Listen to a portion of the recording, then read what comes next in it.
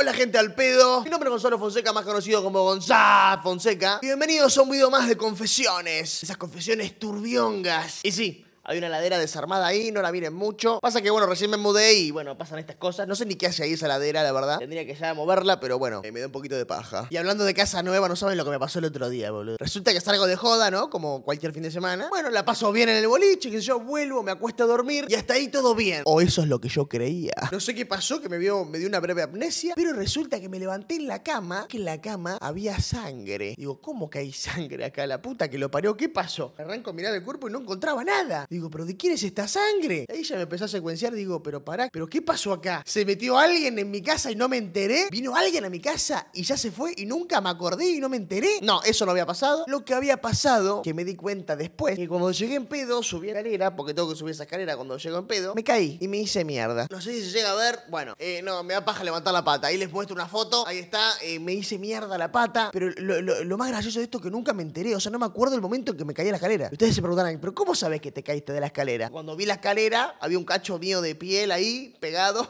con un cacho de sangre. Por eso me di cuenta y dije, no, esto no, esto tiene que haber sido en mi pierna. Y efectivamente era mi pierna. Pero qué loco es el cerebro humano, ¿no? Tipo, literalmente anulé esa parte de mi vida. ya que, tipo, me acuerdo de todo, del boliche, todo, papá, papá. Pero de cuando me hago mierda en una escalera, no, ahí no te acordás. Y lo más flashero de todo es que tuve como 10 minutos pensando que alguien se había metido en mi casa.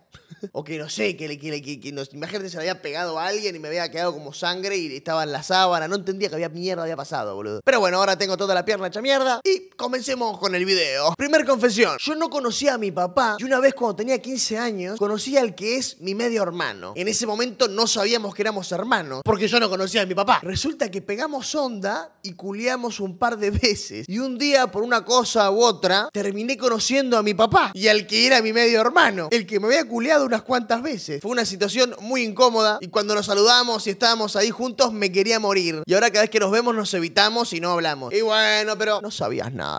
Ojo que nos ven, corazón que no siente. Y bueno, ¿qué vas a hacer si no sabía? Igual que qué orto, ¿no? Justo el que te vas a agarchar era tu hermano. ¿Qué ibas a saber? Pero en la puta vida te ibas a imaginar eso. Ya está, lo que pasó, pasó. Como dijo Daddy Yankee. Y habla con tu hermano y decir, bueno, olvidémonos de lo que sucedió. O repitamos, no. Joda. Olvidémonos, listo, nadie sabe nada. Acá no pasó nada. Y listo, boludo. Porque si no va a ser full incómodo. Acá que vayas a la casa de tu padre, que ahora apareció, no sé qué pasó ahí. Va a ser un poco incómodo encontrártelo a tu hermano que culiaste con él.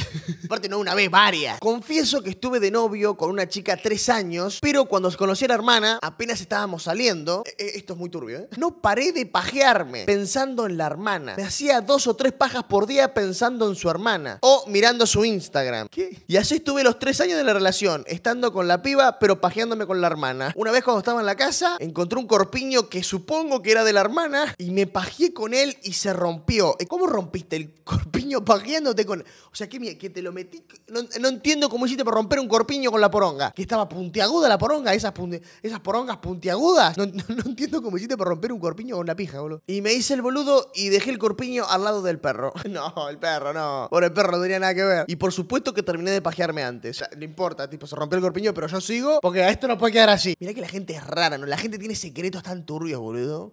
¿Qué, se- qué secretos habrán por el mundo, no? De mis amigos o de mis familiares. El pibe tuvo tres años de novio con la piba, que te quiero, que te amo, que esto, que pum, que pan, que voy a tu casa, vos venís a la mía, y se pajeaba todos los días con las fotos de la hermana. Una banda. Bueno, no sé si es una banda, porque es como un secreto re turbio, o sea, es como que no... O sea, normalmente esas cosas nu- nunca, nunca uno se entera, ¿no? ¿Qué secretos habrán ocultos de esta audiencia? ¿Tienes una confesión? Puedes ponerla en el link que dejo ahí abajo, ¿eh? Porque siempre pongo un link ahí para, eh, para que manden las confesiones. Anónimas, por supuesto.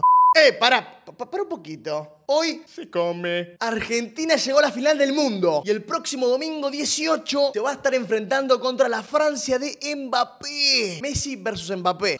¿Qué pasará? Eh, se va a pudrir. Argentina viene bien, pero Cuidadito con Francia. Así que si le tenés fe a Argentina, les presento a OneXBet, la mejor página de apuestas deportivas. Claro que sí. Registrarse es muy fácil. Van al link que dejo ahí abajo en la descripción, van a la página y acá mismo se registran. Ahí tienen que poner mi código, Fonseca. Con ese código van a tener un bono de hasta 14.300 pesos argentinos en su primer depósito. Y para hacer el depósito es muy fácil. Vas acá arribita donde dice hacer un depósito y acá tenés todo de los métodos de pago. Son una banda. Es muy fácil, así que ya saben, ahí abajo está el link. Quien dice que Argentina gana la final del mundo y encima te llevas una platita. Anulo mufa. Y bueno, sigamos con el video. Una vez estaba de viaje con mi abuela en un colectivo y cuando todos estaban durmiendo, no sé qué me pasó por la cabeza que se me paró el amigo. Me tapé con una campera que tenía y arranqué a hacerme la Vladimir en el, en el colectivo al lado de mi abuela. ¿Qué? Pero por favor, ¿Qué, ¿Qué, pasa con este pibe? Resulta que acabé, me limpié con la campera. No, boludo, dejaste toda la, campera cartonada ahí con el huascas. Mi abuela nunca se enteró, bueno, menos mal, pero quedé muy perturbado después de acabar. Y, es ese momento que decís, eh, no debería haber hecho esto. Pero nada, esto debería estar en la sección de pajas indignas. Para el que no sabe, hace un tiempo hice un video de lo que es una paja indigna. Acá se los dejo por ahí arriba si quieren verlo. Está bastante divertido. Pero esto no es una paja indigna, esto es medio una paja ilegal. O sea, ¿qué andás pajeándote al lado de tu abuela? En un colectivo. Te limpias la huasca con una campera, pero estás enfermo, boludo. ¿Qué te pasa? Hay cada uno. Mirá que yo tengo secretos, pero de, estas, de este tipo de cosas no he hecho ni, pero ni, ni se me pasa por la cabeza, ¿eh? Confieso que fui al cumpleaños de mi hermano y me puse muy en pedo. Y mi sobrino, que es solamente tres años menor que yo, me llevó a su departamento con su amigo y me garcharon entre los dos. Bueno, después de todo el temita, estaba durmiendo y me desperté porque estaban a los gritos. Y cuando fui a ver, estaba mi sobrino en el comedor gritando porque había entrado una víbora de un metro y le estaba pegando con una escoba. Pero, ¿qué mierda pasó acá? O sea, qué situación más random, ¿no? Yo cuando estaba leyendo la confesión dije, bueno, a ver, eh, la piba, eh, yo qué sé, se garchó al sobrino, al amigo del sobrino. Pero no, termina la, la anécdota con, con el sobrino pegándole escobazos a una víbora de un metro. O sea, ¿qué carajo pasó? Confieso que una vez estaba ayudando al tío de mi ex a hacer una transferencia a la cual le saca captura de pantalla para enviar el comprobante y entra a la galería y ¡pum! saltan fotos de su happy. Y al toque el tío de mi ex saca la galería y me queda mirando todo rojo. Lo primero que se me ocurrió decirle es que no pasaba nada. Y a él lo primero que se le ocurrió es decir que era su pija, que él no era puto. O sea... No le importaba que haya visto una pija. Lo que le importaba es que piense que era puto. No, no. Claro, el tío decía, no, esta piba ahora le va a contar a todo el mundo que guardo porongas en mi celular. No, no, pero son mías, son mi, es mi pija. Tranquilo, brother. A la gente le chupa un huevo qué mierda tenés en el celular. Tranquilo, bro. Hola, Gonza. Confieso que me gusta ver sufrir a la gente. O sea, cómo le sacan la cabeza o cómo descuartizan parte. O sea, cortan parte por parte su brazo, piernas. Eso lo puso entre paréntesis, no sé por qué. Ya ver eso es re normal para mí y actualmente quiero experimentarlo con una persona. Desde los nueve veo todo eso. ¿Eh? Espero que, que esto sea joda. Dios, ¿cómo que con nueve años veía gente descuartizada? Dios mío, ¿dónde estaban los padres? No, amigo, a ver, querido, si estás viendo esto y es real lo que me mandaste, no, no, no es necesario. No mires más esas cosas, querido.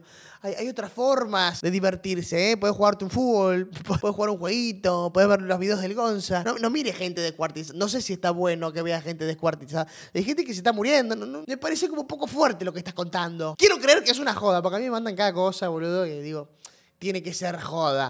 Hace unos meses tenía que ir a una entrevista de trabajo y cuando iba en el colectivo, para en el semáforo y me puse a mirar para afuera. Y en el auto que estaba al lado, el que iba manejando se iba haciendo una paja. Y en el momento que vio que lo estaba viendo, me empezó a mirar fijo. Tremendo enfermo. Sí, la, la- la verdad que sí. No tengo objeciones con el tema de la enfermedad. El tipo iba por la calle manejando y clavándose una japa. Tengo 18 años recién cumplidos y hace como dos semanas mi preceptora me escribió por Instagram invitándome a comer un helado. ¿Un helado? ¿Cómo? Yo acepté y fui a comer el helado. Fue un poco raro porque estábamos hablando de la vida con la preceptora y era como, what the fuck. Es, un, sí, es un poco extraño, la verdad, ¿no? Que tu preceptora te invita a comer un helado a hablar de la vida, ¿no? Es como, ¿qué? ¿Qué, qué está sucediendo aquí? Cuando terminamos de comer el helado, me subí a su auto para que me lleve a mi casa. Resulta que me puso la mano en la rodilla y bueno, cuestión a resumidas cuentas, se terminó cogiendo a la preceptora. Fue re loco, igual ya no la voy a ver más porque ya terminé los estudios y lo peor de todo es que tiene esposo y dos hijos. Una morbosa, una morbosa, la preceptora. ¿Se vos imaginate la preceptora pensando tipo, este pibe cuando cumpla 18 lo voy a, lo voy a llevar a comer un helado y me lo voy a culear. El pibe en, las nubes. Y la tipa, no, no, una gana de, de morbearla por ahí, boludo. Confieso que me cogí a mi amigo y me re gustó, reforzamos la amistad. Uy, boludo, hay que reforzar la amistad con las amigas.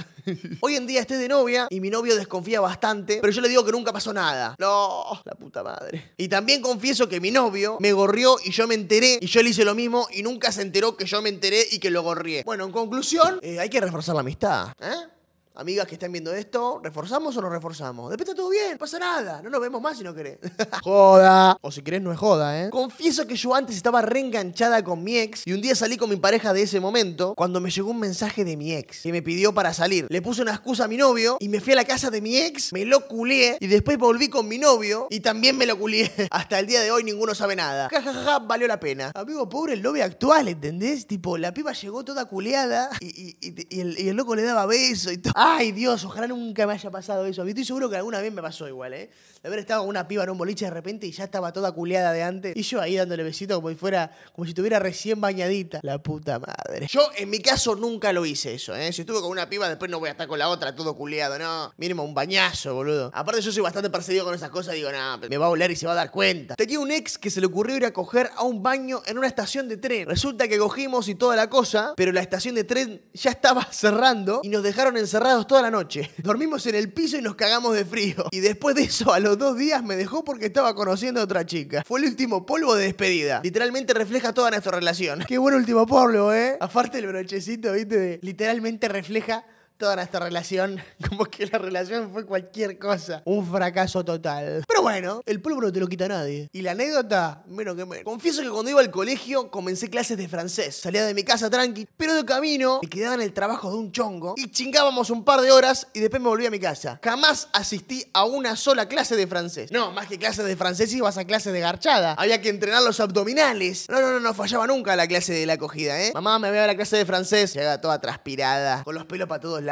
Después de ocho años de ir a clase de francés, che, eh, vamos a Francia, ya que vos, ya que vos sabés francés. No, no, mamá, porque sabés que al final eh, no iba a las clases de francés. Pasaban otras cosas. Y me quedaron más confesiones, pero lo voy a dejar para el próximo video. Si no viste el video anterior de confesiones, acá te lo dejo. Acá podés verlo. Dale click, andate a verlo, que está buenísimo. Una joyita. ¿Daste? ¿Sí? Dale, besito. Nos vemos.